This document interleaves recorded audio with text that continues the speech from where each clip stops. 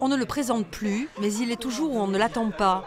À 93 ans, Marcel Amont sort son premier roman Adieu la belle Marguerite aux éditions Kern. L'aventure d'un paysan aspois qui tombe amoureux de la fille d'un châtelain sur fond de Seconde Guerre mondiale.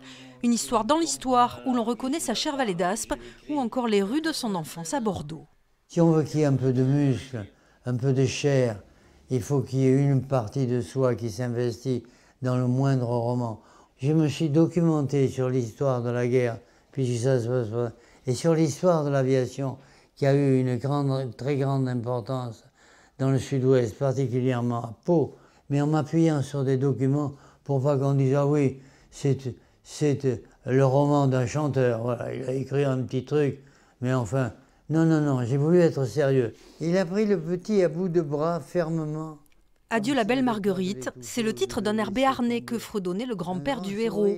Car on revient toujours à la chanson avec ce monstre sacré du musical.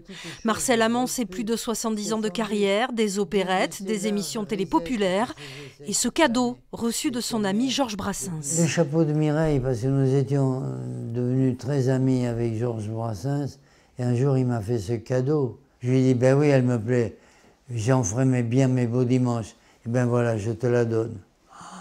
Cadeau, cadeau, de la part de M. Brassens, c'est pas Tartampion.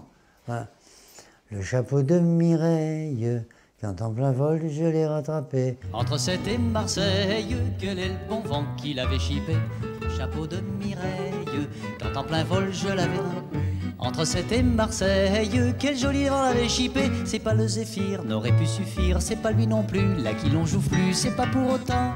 L'OTAN, non mais c'est le plus fol et le plus magistral de la bande aéole, un amour de Mistral. Il me l'a fit connaître aussi dorénavant, je ne mous plus mon blé qu'à des moulins avant.